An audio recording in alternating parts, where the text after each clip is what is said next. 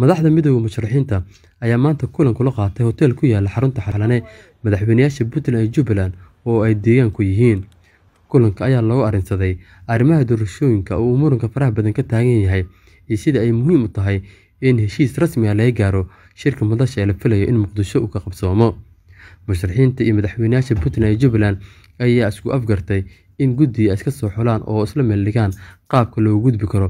Culeyska ku geedaaman in heshiis laga gaaro doorashada oo u muuqata inay sii dabadheeraatay wakhtigan uu aada u sii socdo.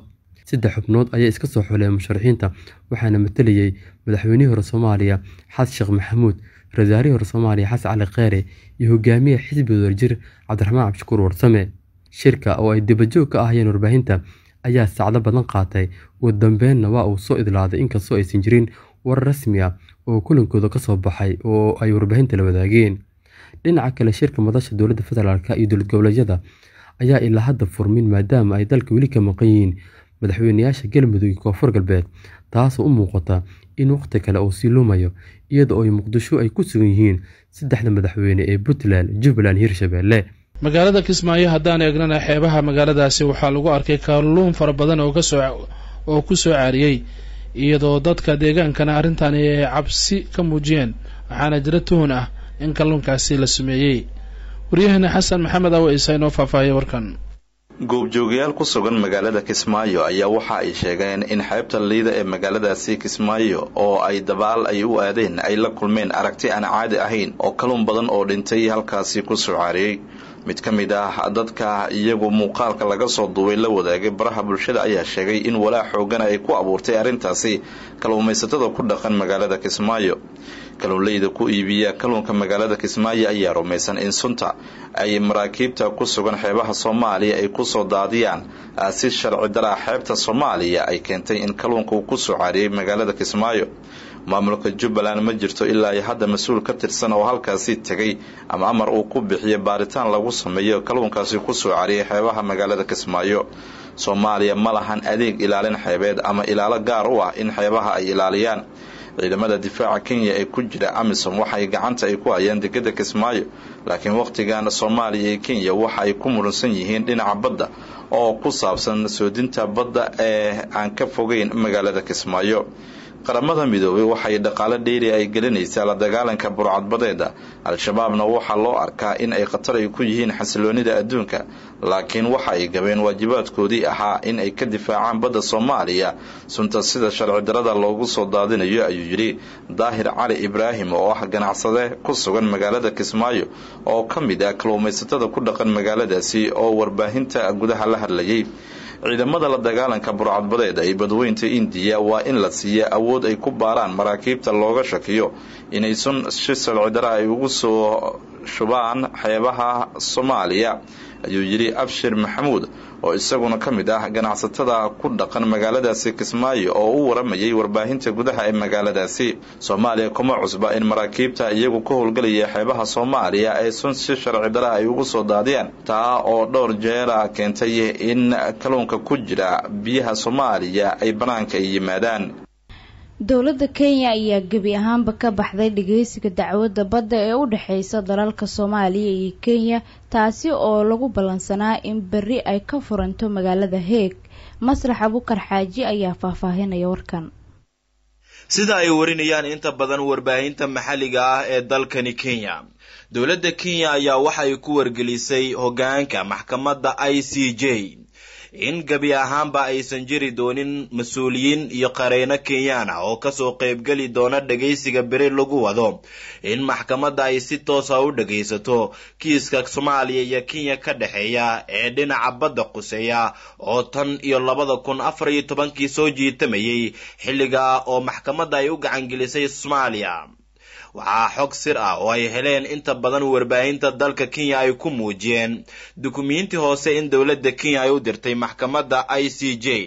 Waxaana ay ku tiri kenya waxay jeceshahay in ay maxkamadda ku wargeliso inaysan ka qaybgeli doonin dhagaysiga la jadwaleeyey ee shan iyo tobanka maarso bilaabanaya waxaana warqadan ku saxiixnaa xeer ilaaliyaha guud ee dalka kenya khayra kairoki kaasi oo muujiyey in dowladda kenya ay horay u soo jeedisay codsiyo ku wajahnaa dhinaca maxkamadda i c j oo la xiriiray in kenya ay la daalaadhacayso xakameynta xanuunka coronavirus islamarkaana daruufo kale ay jiraan.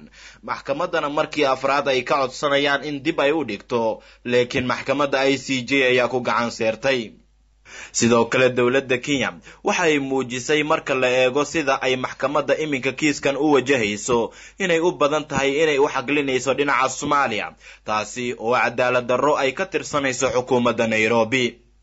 Qoraalka xeer ilaaliyaha guud ee dalka kenya uu u diray maxkamadda i c j ayaa waxaa sidoo kale lagu yidhi sababtaas darteed kenya iyo kooxda sharciga waxaa loo diiday fursad ay ku sameeyaan diyaar garow lagama maarmaan ah oo ay ku difaaci lahaayeen dadkooda.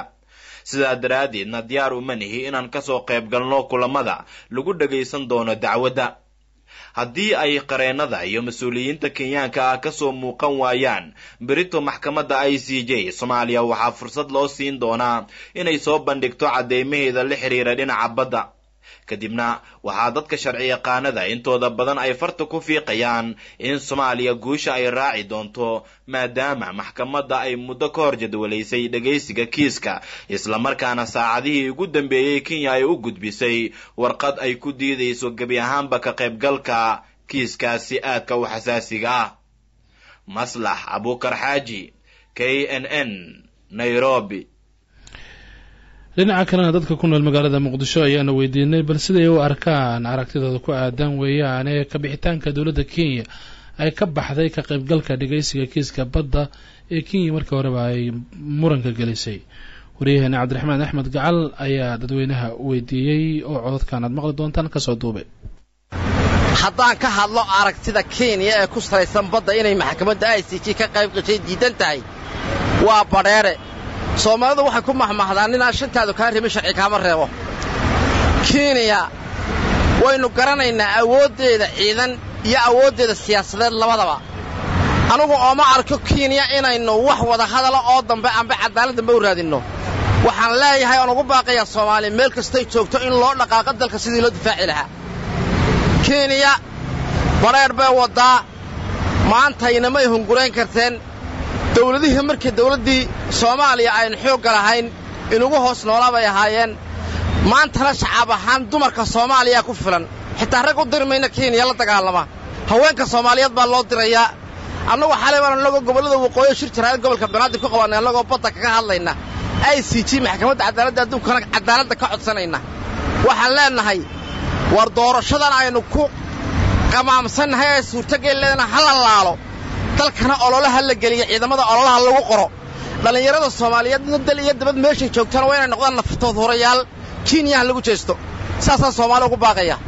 Haddaan ka dhiibto fikir ee arrinta badda ee muranka ay gelisay baddeenna muxuu ahaa kenya ay gelisay? Oo muddo badanba soo jiitamaysay. Runtii in badanna ay diiddanayd kana cagajiidaysay jaaxadnimo iyo muxuu ahaa maaragtay madaxadayg fara badanna ay horay u muujisay. Ugu dambayn berri oo ballantu ay tahay dhegaysigii badda in ay diiddo tidhaahda muxuu ahaa qareennadii iyo ma dirsanhaya muxuu ahaa ii sheegee wafdigii meesha ka qaybgeli lahaa. Waxay caddayn u tahay markhaati madoonto ah kenya baddaasi xoog bay ku doonaysay. Xaq oomayna lahayn. Saa caddaatay kenya ayadaa qiratay inayna baddaas ayna lahayn ayadaa qiratay. Maxaa yeelay afar jeer bay dib u dhigtay. Dacwadda badda dhegaysigeeda afar jeer bay dib u dhigtay in badda laga wada hadlo. Intaa way diiddanayd markii u dambaysay go'aankii u dembeeyey oo maxkamaddu ay gaartay in muxuu ahaa lagu kala baxo dhegaysiga badda hadday tidhi waxba dirsan mahayo meeshaas waxba kuma haysa wax gacno ugu jiraa ma jiraan xoog bay doonaysay. Xaq mayna lahayn. Sidaa darteed adduunka iyo dadka shacabka soomaaliyed waxaa u caddaatay kenya baddaasi xoog bay ku doonaysay. Annaguna way noo caddayd ilaahay maaddi awalba way noo caddayd muxuu ahaa ii sheegee shaki noogama jirin. Laakiin haddee adduunkana inaan qancinno ayada lafteedana la qanciyo la samriyo. Saasay ahayd. Marka aad iyo aad baan ugu faraxsanahay inay tidhaahdaa waan diiday baddana annagaa iskale aniga magacaygu waa daahir ibraahim rooble oo ah muwaadin soomaaliya. Badda soomaaliya iyo kenya isku hayaanna waxaanu arkaa aragti khaldan. Badda annagaa iska leh kenyana ma hunguriyey karto. Hadday isku daydo inay dalkayaga hunguriyeysona waxaan si cad uga soo hor jeednaa inaanay geli karin xoog baan ku qaadaynaa dumarkaa ka adag kenya